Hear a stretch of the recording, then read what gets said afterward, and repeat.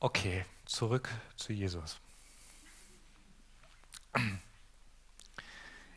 Ich finde, das ist eine wahnsinnig coole Geschichte. Und sorry, wenn ich so salopp darüber rede. Ich habe null Ahnung und es ist nicht mein Interesse, irgendwie zu überprüfen, ist die Geschichte wahr oder nicht. Das ist überhaupt nicht mein Ding. Ich komme von dem Punkt, wenn uns eine Geschichte über 2000 Jahre so sehr beschäftigt, dass wir sogar bereit sind, uns dafür die Köpfe einschlagen zu lassen, muss da was drin sein. Es gibt ein paar Sachen, die ich total, total liebe an dieser Geschichte und die ich gerne mit dir teilen möchte, weil es etwas mit lebendigen Beziehungen zu tun hat. Das Erste, was ich total liebe an dieser Geschichte, ist, dass Jesus ein absolut, absolut stinknormaler Mensch war. Ich liebe diese kleinen Details in dieser Geschichte. Ja, dass er Zimmermann war. Dass er nicht geboren wurde als Satzangenlehrer oder sonst was, sondern als ganz stinknormaler Zimmermann. Dass er Menschen um sich herum hatte, die nicht verstanden haben.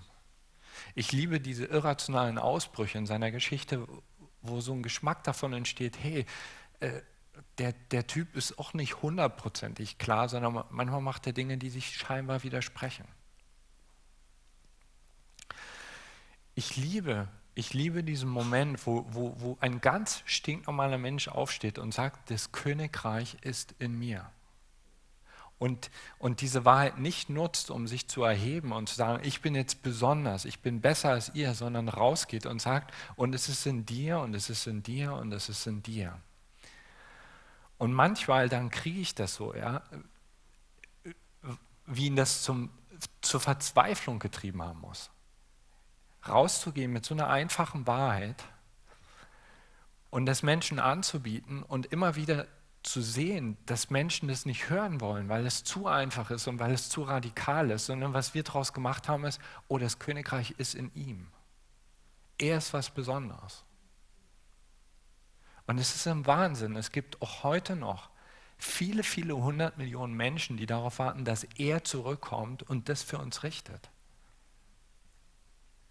So, ich habe ich hab eine viel frechere und ich finde eine viel coolere Interpretation dieses zweiten Kommens. Und das ist, ich bin das zweite Kommen und du bist das zweite Kommen. Und wenn es nicht in deinen Beziehungen anfängt, fängt es nie an.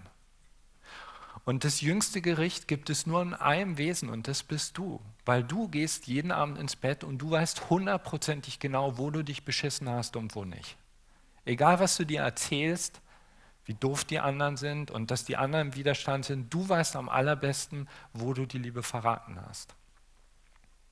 Und lebendige Beziehung bedeutet für mich zu akzeptieren, dass ich das zweite Kommen bin.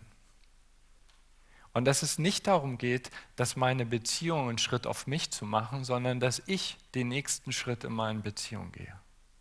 Dass ich die Hand reiche dass ich eine Geste der Versöhnung schenke. Dass ich das nächste Mal, wenn es in mir wehtut, nicht sofort in den Vorwurf gehe, sondern sitzen bleibe und bereit bin, meinen Schmerzkörper eine Minute länger zu spüren.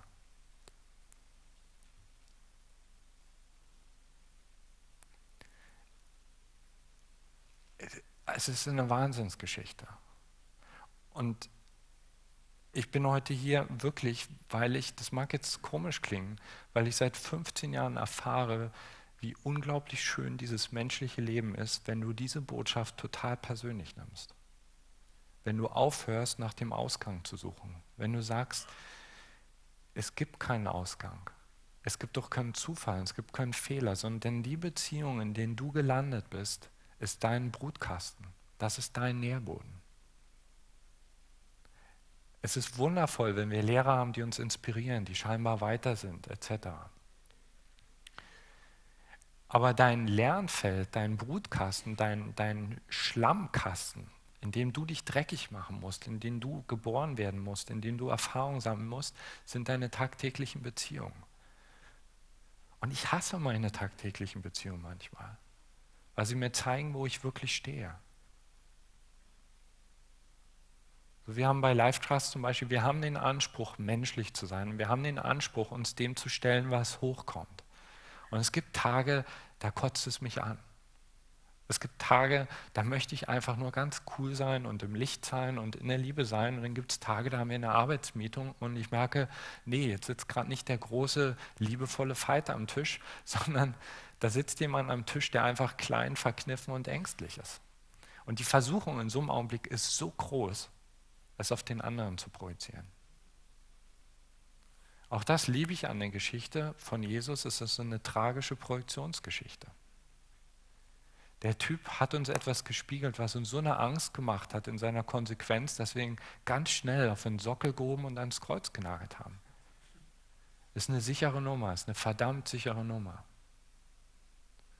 So der Typ da oben am Kreuz ist für uns alle viel, viel sicherer, als wenn wir uns vorstellen würden, der würde jetzt gerade hier im Raum sitzen.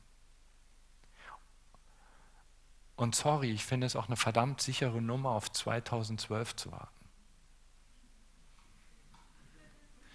Ich lade dich ein, wenn du so ein 2012-Fan bist, ich will es dir nicht wegnehmen, aber seit es Menschen gibt, haben wir so ein Datum, auf das wir warten.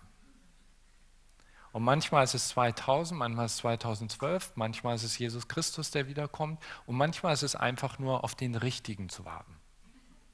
Manchmal ist es nur darauf zu warten, wenn mein Partner den nächsten Schritt geht, dann bin ich bereit, den nächsten zu gehen. Diese Welt ist spiegelgleich.